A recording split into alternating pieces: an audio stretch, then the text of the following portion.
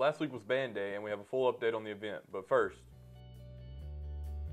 from Studio 96, located on the University of West Alabama campus in Livingston, Alabama, this is your Tiger Pause, the official weekly student newscast with all things news, sports, and entertainment. welcome back, Tigers, to our weekly episode of the Tiger Pause newscast. I'm Dylan Scruggs. And I'm Hannah McCatherine. And now to our first story. UWA Band Day allows high school students to perform with the UWA Band at a home game. Haley Shearing covered the event. Haley? This Saturday was Band Day, and UWA extended an invitation to high school and middle schoolers to come march with the UWA Marching Tigers. I had the opportunity to sit down with UWA band director Michael Tigner. So, what is Band Day? Band Day is a yearly event that we hold where we invite high school and some middle school uh, band students from around the region to join us. Um, they get to march on the field, they join us in the stands, really just getting an idea of what uh, band is in college and, and here at UWA. Why is Band Day so important? It's a, it's a good recruiting event for the band, and it's good community outreach. Uh, there are a lot of these students who we hope will be here, but um, it's hard to know whether a seventh grader is going to come here or go anywhere else in six more years. And so it's a great, it's just a great outreach event for the community as well as recruiting. That's all about Band Day. Catch your Marching Tigers at West Florida's game. For Studio 96, I'm Haley Shuring. The UWA Campus Activity Board hosted a silent disco party earlier this week, and reporter Joe Worthy attended the event. Joe? I'm just outside the Student Union building where the students of UWA were treated to a very interesting silent disco party. On November 7th, UWA students were welcome to attend the very interesting sounding silent disco party at the Student Union building. At this event, students put a pair of headphones on and listened to D- two DJs directly through the headphones with no music being played out loud whatsoever. Students were treated to various different genres of music from rap to country and were encouraged to dance if they felt like doing so. While you may not be able to hear it, the students had a great time at this event. If you weren't able to make it to the silent disco party, be sure to keep your eyes open for more activities just like this. For Studio 96, I'm Joe Worthy.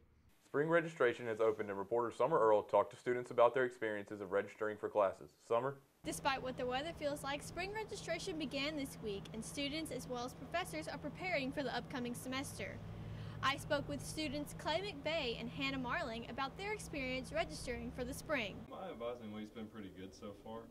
Um, my advisor's been really good at getting my schedule all set up and explaining to me uh, what I needed and what steps I needed to take as far as graduating. My advising week so far has been pretty good.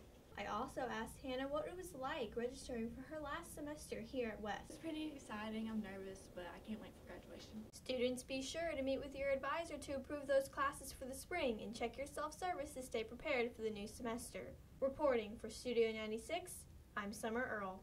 The Brothers of Delta Chi hosted a penny drive to raise money for alumni Chad Huey.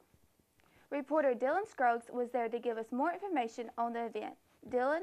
of Delta Chi are hosting a penny drive to raise money for recently injured alumni Chad Huey. Huey was injured in a car accident, and the brothers want to raise money to pay his hospital bills and help his family. Delta Chi's Vice President Cameron Wyatt gave me more information on the event. This is, event is for our needy alumni. His name is Chad Huey. He was in a serious car accident. He's paralyzed from the waist down, and his family his family really needs help paying bills since he's in ICU. Uh, you can donate by coming to one of our events through, uh, throughout the uh, throughout the week.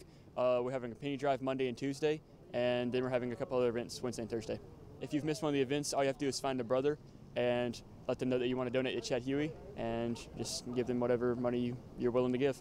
For more information on the events and ways to help the Huey family, please email Cameron Wyatt at wyattc5042 at uwa.edu. Reporting for Studio 96, I'm Dylan Scruggs. Now let's uh, head over to Grace Self in the Zone Sports Corner for this week's Zone Sports Update. Grace? Welcome to this week's Zone Sports Corner updates. I'm Grace Self. We start with the women's soccer. The Tigers will move on from regular season to postseason after a win against the Alabama Huntsville Chargers. After much excitement, the Tigers are ready for what's to come next. The women's finished with a 12 4 1 record and a 10 2 1 in the GSC. The Tigers set a new program mark for conference wins in a season. The West Alabama Tigers are set to play Tuesday, November 12th at the Tiger Stadium. Come support these Tigers as the match starts at 1:30 p.m. The University of West Alabama men's soccer team season comes to a close after another tie against the UAH Chargers on November 8th. The Tigers had a great season, finished with a 4-8-4 overall record and a 2-5-4 record in the GSC. On to volleyball. After a hard-fought match, the Tigers fall to the West Florida Argos Friday, November 8th. The UWA record is dropped down to a 10-20 overall and a 4-10 in the GSC. The top performers during the match were Lee Colts and Allie Craig. Colts had an outstanding game and finished just shy of the UWA, record book with eight total blocks with six blocks assists, while Craig had five total blocks for the match. The Tigers continue towards the fight for a chance to play in the GSC tournament as they are set on the road for Valdosta State starting at 5 p.m. Watch the game live on the UWA Athletics page at uwaathletics.com. The West Alabama Tigers had a fierce game against the Mississippi College Choctaws and came out on top. More on the stories reporter Coley Roy. Coley? The Tigers faced Mississippi College last Saturday, and it was a big win for the Tigers. The Tigers beat the Choctaws by a score of 35 to 21. The Tigers had five players reach the end zone Saturday. The Tigers converted seven of the 10 third downs they faced on Saturday. The Tigers poured it on the Choctaws in the second half, scoring three of their five touchdowns. Jack McDaniels led the Tiger with 218 yards passing and two touchdowns. James Smith led the Tigers in rushing with 54 yards on the day. The Tigers improved to 6 4 on the year and 3 4 in GSC play.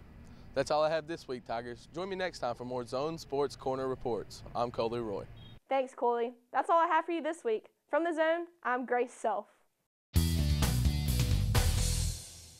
Thanks, Grace. Now for some upcoming campus and community events.